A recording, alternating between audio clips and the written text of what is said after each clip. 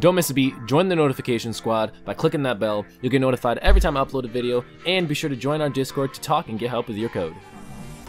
How's it going everyone? Welcome back to the Source Code. My name is Deshawn, and today we are going to get started on working on our economy plugin. So the first thing that I did is I went ahead and just made my main class, had an extend Java plugin, uh, did some preliminary stuff. If you don't know how to basically set up a basic plugin and its dependency, you should probably head back to pretty much episode one of my uh, Bukkit coding series because um, I'm not going to go over because I'm not going to be going over sort of those basic things, but you're going to want to add your spigot jar, and your vault jar, and then we made a Maven project. So to do that, you just go ahead and right click, new module, Maven project, and I also have a video briefly briefly going over Maven and how to use Maven. So if you haven't seen that, go check that out as well. No sense to do it again. But the most important thing is inside of our pom.xml, we're going to want to go ahead and add this build plugins plugin group ID, and this is just so we can build in Java 1.8. You can obviously change this as you would like. You could change this to 1.9. I'm just gonna keep it as 1.8 because it works the best. Well, it works. It works. That's all that really matters. It works. Then we have our plugin.yml, and we're actually gonna change this to day economy. And so we're gonna need our name, our main, which is going to be me, .tsc.dayeconomy.dayeconomy main. Our version is 1.0. Our dependencies is Vault. Our commands will be daycon, and our usage and description. And now the next thing we gonna, we are going to have to do is we need to go ahead and add our MongoDB as a dependency in our pom.xml. And once again, all the code will be available for you guys on GitHub. Uh, I'll do my best to make sure I, I put it up there. Um, I, I, know I slack sometimes with putting code up. Um, but right, so we're going to go ahead and get the Mongo Java driver, and we're going to get version 3.3.63. Uh, I know that it works the best. Uh, 3.7 is out. A few things have changed. If you want to use a more modern one, um, I don't have the exact uh, represent or the exact API on me, although you can go ahead and just click API right here, and you will be able to go ahead and find all the stuff or um, how to use it basically. But we're going to use 3.63 just because I'm very familiar with this one and I know how it works. The next program you guys are going to want to get is MongoDB Compass. I forgot to mention this in the first video. Now this is not something you need, but it's just a really easy way to visualize your database. As you can see down here, um, you can see all your databases and whatnot. So I am going to use that. Uh, as you can see, I have a day economy right here. This is obviously not going to work. Um, the, the URI code that I'm going to get, I am going to change, so don't worry, you guys won't be able to get into my database. Uh, after I make this first video, it's going to be changed. So once you make a MongoDB Atlas account, go ahead and create a new project. It should be the first thing that you see because it's the first thing you're going to have. Then you're going to want to do is build a new cluster. Yours is going to be right here in the center of the screen. It's going to say build new cluster. Um, so just, just keep that in mind. Then after that, we're going to go ahead and click connect. And you're going to go on ahead and allow your IP address. Now you can go ahead and click allow from anywhere.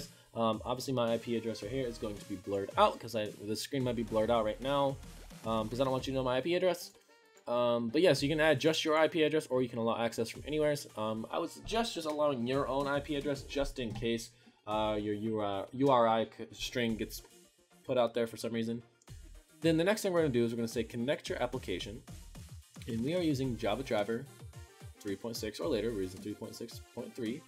So we are going to go ahead and get this here. So we're going to copy this and we can close that. So this is our URI string. But before we do that, we need to go ahead and go to, to security click on edit on the admin, and you're going to want to make a new password for your admin. Your admin password can literally be whatever you want it to be. So as we head back to our uh, IntelliJ here, let me zoom in here. Let's go to our config, and we can see here that I have this URI right here, and my password is going to be admin admin123, and that should work. So now the next thing we're going to create in our main class here is we're going to create an instance, a static, private static instance of our Dayeconomy class, we're called plugin. Then we're going to create a getter, which is just going to return plugin.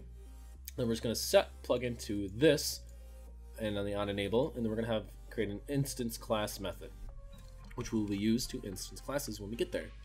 Now the next thing you're going to do is you're going to click on your main package here, new, new package, and make a utilities package. I've already made that. Um, you guys can't see it, but it's already made. We're going to call this Mongo Connect. Now this is going to be where we're going to take care of all of our connection setting and getting of our MongoDB database. So first things first, we're going to go ahead and say private Mongo database, database, private day economy plugin equals day economy dot get plugin. Great.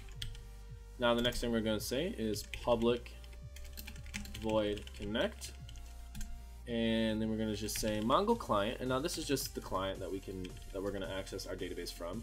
Equals a new Mongo client which is going to equal a new Mongo client URI which we are just going to go ahead and say plugin.getconfig.getString nope, .getString in URI great. Now what we can do is we need to go ahead and create getters and setters for our database here. So just alt insert if you're on IntelliJ getter setter database. Great, now we have that. Now we can go ahead and say set database, and we're going to say client.get database. We're going to call it day economy. That's what our database will be called, and we'll get to setting that up here in a minute. And now we're going to do one more thing in our utils class. We're going to go ahead and make a new class. We're going to call it message manager.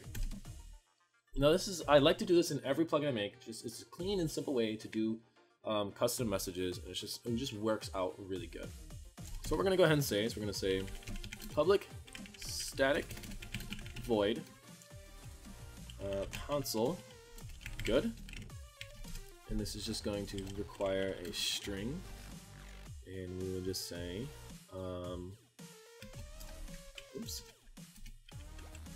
Bukkit get console sender send message, and we will say ChatColor dot green. And then our message.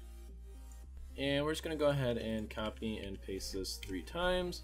And we will just say console bed and console info. We'll just change this to red and we'll just change this to yellow. So now what we can do in our Mongo Connect when this is all connected we can basically approve it and we can say, okay, this is good and it's connected. So let's just go ahead and do that. So we're going to say message manager, console good, database, connected. So now in our main class, what we can do is we can go ahead and just say private. Well, I don't know if we're going to make it private. Let's just make it public for now. We can make it private later on. So let's just go ahead and say public Mongo Connect, Mongo Connect, and then this is just going to be Mongo Connect equals a new Mongo Connect. And let's just go ahead and export this plugin really quickly here. And we can see if this works, and if it works, we will be pretty much all set for this video. And then in the next video, we will start setting up um, a few other things inside of our database.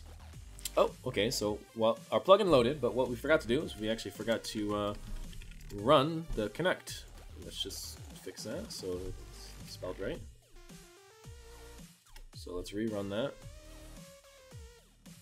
Alright, so what we had to do is we had actually had the wrong connection string. So you guys are going to want to grab the 3.4 or earlier connection string and copy that one and then paste that into your config.yml and you should be all connected.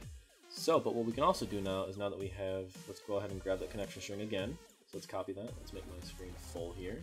So we have our connection string there, so copy. Now in MongoDB Compass, when we open it up and we have it pasted, or copied, or clipboarded, or whatever you want to say, it's going to allow us to just quickly add it in. We'll add in our password.